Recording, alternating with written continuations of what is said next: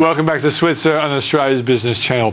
David Burton is the founder of an innovative listed company that specialises in fixing sleep disorders, and it's recently cracked a nice contract in France. The company is Compumedics, and David joins me in the studio. Thanks for joining us, David. Thanks, Peter. Great to be here. Tell us the history of Compumedics. Because I remember writing a story on you that's- ages ago when you, you weren't a listed company in those days. No, that's right. We actually started in about 1985. Hmm. I headed up a team of uh, engineers and we developed the first computerised sleep centre for the Asia Pacific. Right. It was for a contract for Epworth Hospital. Yeah. And then uh, about 87, we decided we better give that project a name. So it was the convergence of computers and medicine. Yeah. So I called the company Compumedics, and that's when it founded in 87. Yeah. In about uh, 95, we won the largest contract of its kind, the Sleep Heart Health Study, and that broke us into the US market. Yeah. We had innovative ambulatory systems, mm. and we competed against 22 countries, put us in USA. Mm. In 98, that led to the Australia's eh, overall export of the year. Mm. Uh, 2000, we listed on the Australian Stock Exchange, Yeah. bought two companies. One was the leader in 2000 wasn't a great year to list either, was it was was a tough year, Peter. Yeah. I remember on the, it was the 20th of. December, and it was either we go for it or pull back. Yeah. And in my usual manner, we went for it.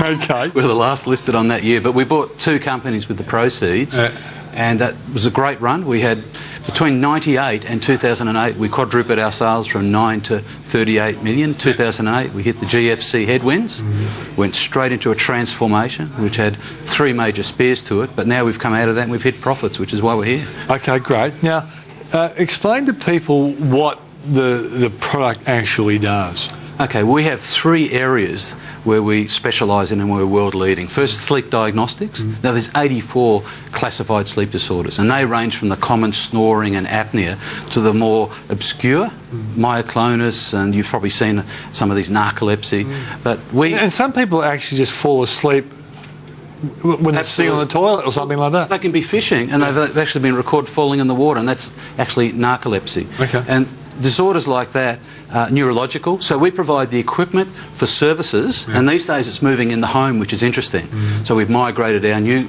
applications into the cloud, Yeah. and we're providing mobile links with Android and Apple, and that's the new generation of home monitoring. And the other side is neurology. One percent of approximately of the population have epilepsy. About ten percent suffer a seizure. So we do the world's best epilepsy and neurology monitoring and sleep diagnostic monitoring, Yeah. and also brain blood flow. Believe it or not. Okay, well, that kind of is related, isn't it? But look, so your products don't actually cure sleep apnea, No, the first but step. they monitor Yeah, what's right. going Yeah, on. yeah. Well, it's interesting. A, a WHO report has shown that the burden of neurological disorders is, for example, about six to seven percent, Hmm. and Asia is the fastest growing region, and that's for neurological disorders. As you're seeing the industrialisation of Asia, and you're Right. Hmm. also seeing the aged population increase. So, monitoring for sleep and neurological disorders is what really underpins it. It's that demand for that monitoring. Who are your customers? Who are your key customers? Well, we've shipped actually about half a billion dollars worth of systems from Australia. Mm. 90% of our business is export. Mm. In the Australia, stuff is made here, isn't it? Absolutely. Yeah, yeah. And part of the transformation, of course, is our high cost base, high dollar. Mm. We've had to spend since 2008 and transform that. Mm. And the key message for Compumedics is it has worked Mm. and it's brought us back to profits. But that's involved a three speared plan. Mm. Part of it's shifting manufacture to lower cost regions, mm. part of it's transforming to online business, mm. and the other part is breakout businesses with partners. So we're actually doing licenses on our technology. How many rivals do you have around the world? Well, in our slot and our combination, interestingly, in the sleep diagnostics, mm. independent sleep diagnostic companies of our nature, we're the only one. The others are conglomerates and vast organisations. We're the only specialist. And we actually founded the business, so we would be recognised as the world leader in terms of the comprehensive and specialty nature. Okay, so uh, are basically are there hospitals who are buying your stuff? Yes, well, globally we have about 20,000 hospitals that have our systems. We have systems in Stanford, Albert Einstein Medical Centre Bioneurology Systems, Mayo, Stanford, Tokyo University, Peking in China.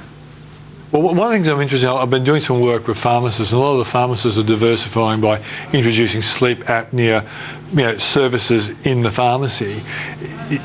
Do they, in a sense, are they potential customers for you, or A- absolutely. Are. Yeah, yeah. So it's- it can be small enough for a servicer of people with sleep problems. Actually, yeah, in the last five to ten years, there's been a transition to what they call home sleep testing Yeah. or home-based sleep services. Right. And a lot of these larger scale pharmaceuticals and others now are providing those services. Yeah. And we provide the equipment to the best of those organisations. In fact, you'll soon see some announcements coming up where we're providing pharmaceutical opportunities to use mobile phones in the home so everyone can be diagnosed. Mm. And we've migrated our technologies into the cloud. So that's a new area, and you're going to see it dissipate, of course, mm. more to the patient in the home. the rise of the customer base. Yes. Um, I, I know I, I did a story on a guy called David Dixon in Gympie. He's a, a pharmacist, and he's actually turned his business around by introducing a sleep apnea business there. Yes. And one of his one of his key uh, discoveries was that a lot of his customers, patients, had sleeping problems, and uh, and, and so I believe, and correct me if I'm wrong, that probably in five years' time there'll be a lot more people identify themselves as having sleep apnea issues. Yes. Well, you've probably tracked this field for a while, but Compumedics has been for this. This millennium is more about a lot about the comorbidities. That is, that the majority of people with sleep disordered breathing also have obesity, they have congestive heart failure. Yep. So that's why you're seeing first stroke sufferers, a majority of them also have sleep disordered breathing. That's why you're seeing more dissipation into the larger scale outlets, mm. such as the pharmaceuticals, who are now taking a role mm. in screening patients as a service. In fact, Compumedic's major clients are services of that nature. Okay, so I presume the stuff you sold to hospitals are a much bigger and more expensive unit than the ones you'd be trying to target for for the smaller operators. Absolutely. And Okay. our biggest transition will be, first of all, we've founded ourselves in the premier supplier. So we're the premier supplier in China mm. for neurology systems. We're the premier supplier in China for sleep diagnostics, and that's one of our faster growing mm. markets. Mm. Recently, our major shareholder became a Chinese company who are quite wise because they know developing this market in China is very valuable. Okay, tell us about the French contract and how important that might be for the company. Well, Strasbourg University is actually the second largest university in France. For us, it also has something like 16 Nobel Prize winners. Louis Pasteur was actually an academic there. So it's a phenomenal showcase for us to enter that market, and we've only just started that market. So we were delighted. A million dollar deal in all. And what we're doing is we're bringing sleep and EEG with some of the best researchers in the world in Strasbourg University. And that's going to be the showcase for us to get the knock on effect in France. And France is one of the major diagnostic companies. So we're balancing the growth in China with the baseline in USA and countries in Europe like France. And that's how the company's going to sustain its profitability in the future. Okay, so what are the other opportunities for the company going forward? Well, the big one is we have the premier position, the major supplier in sleep and neurology in China. So you see a contract recently, $2 million for just in China, and we're only at the beginning of that curve. Mm. That's a big one for us. So China, we're positioned with the Asia Pacific to be the only multi-discipline diagnostic company mm. that's in the Asia Pacific. All the other players are either in Europe or USA. So we're really focusing on growing that market, mm. and particularly with the China as a growth engine. Okay. The second one is the transition into the home market.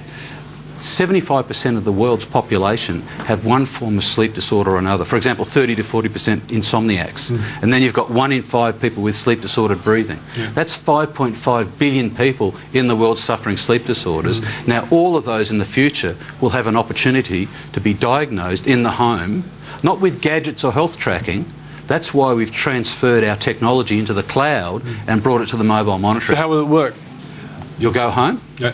you'll press a button and you'll be going into a high band cloud mm. with your telecommunications and there will be doctors So you're using your mobile phone to, to, to monitor how you might be sleeping, and then the feedback will be coming through. Absolutely. And because of the efficiencies of it, of course, it's accessible to more people, but we bring in the specialists and the clinicians as part of the equation because that's our field. Yeah. So that's a total transition towards efficiency in sleep. Mm. As we speak now, we have a number of contracts in play and we've set up a whole business unit. So that, that access to the home with convenience, if you have a sleep disorder and you can just press a button on a phone and it's diagnostic and validated, FDA approved, it's a totally different world. And you'll see a lot of people getting access in the future. Great story, David. Preventative medicine, it's important. Yeah, and unfortunately we're out of time, but as always, it's a good story, and I'm really happy Be to great, hear. great to see you. Thanks, Same here, mate. After the break, if you believe the medical fraternity are a bunch of killjoys, maybe your life is about to change. A really good rap for saturated fats